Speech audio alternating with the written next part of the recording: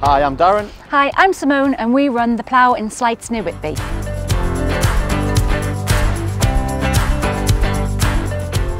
Rewind three years ago um, and I was coming to the end of my military career, I had 22 years in the army. Um, and we, myself and my wife, were looking to do something together. I think that was the inspiration. Um, the motivation behind it was we spent so long apart during my career, especially towards the back end. So we wanted to do something together.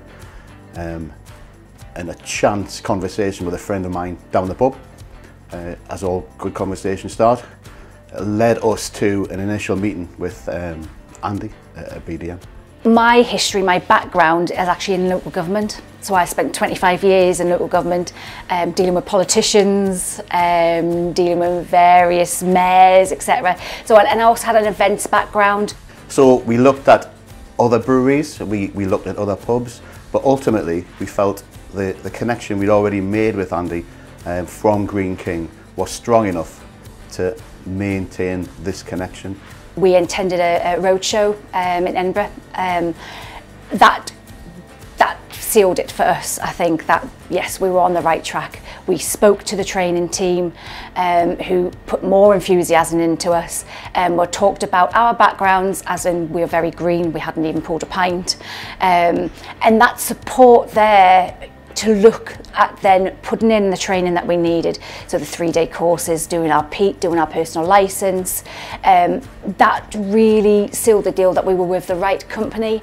Um, they were ready to invest in us, even though, like I say, we hadn't even pulled a pint.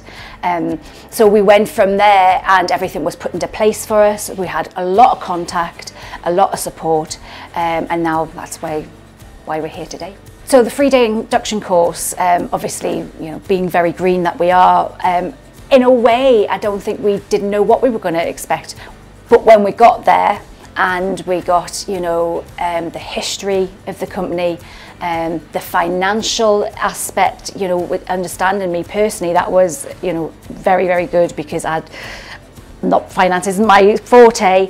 Um, we got the overview of everything that we needed to have to go away and think, right, we can do this. We can run a pub because we've got this good basis of what we need to know.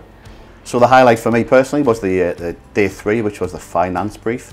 Um, again, not really from a finance background. It's really key for me to um, get a grip and absorb um, stuff like uh, margins, uh, external financial pressures, and I, I felt it was delivered really well. Uh, we felt at the end of the three days actually part of a Greene King family, if you like. So upon completion of the course, it opened up all sorts of other support avenues that we didn't even know existed. Apart from the three-day induction, um, we, we've done a training needs analysis um, with the trainers. That was really good. That highlighted anything that we need to do in the future um, when you're actually up and running, um, which is great. So after the induction course, I completed the BII cellar course. Uh, we're also both personal license holders and we've been given access to uh, various online modules that have helped us get to where we are today. Just yesterday, I actually sat down with the area trainer um, and we looked at um, and bounced ideas around about what we thought that we would need for the training modules for the staff, which we sorted yesterday all done, all sorted, all ready for the staff to go. So the support is there and it doesn't just stop after the three days, it continues and I know I, I can email for any support at any time. I would um, definitely recommend anybody who's looking to get into this industry um, to have a look, have a talk to pub partners.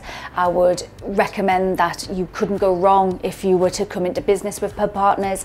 Um, the support we've had, um, the training and the ongoing training has been excellent.